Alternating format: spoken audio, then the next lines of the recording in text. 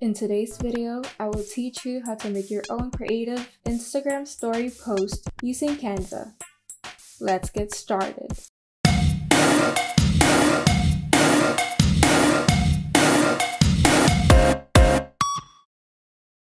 First, open Canva and in the search bar, type in the word Instagram story. There are thousands of templates and designs to choose from. To filter out the designs that you like, you can simply enable the filters based on the style, theme, pricing, and color scheme on the sidebar. You can also start from scratch if you would like to make your own design by clicking on the Create Blank Instagram Story option on the first row.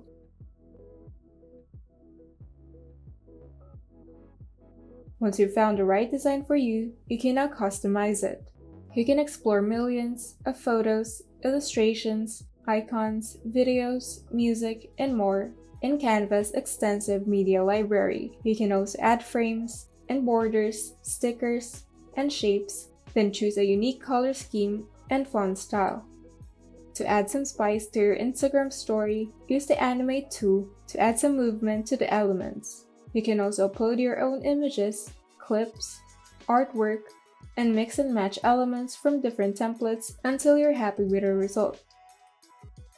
And once you're done, you can now save it to your computer or post it directly to your Instagram account. To do so, simply click on the share button at the upper right corner of the screen and select share on social. Here, you can choose whether to upload the Instagram story to your business Instagram account or personal Instagram account. And you're done. If you found this video helpful, kindly like and subscribe.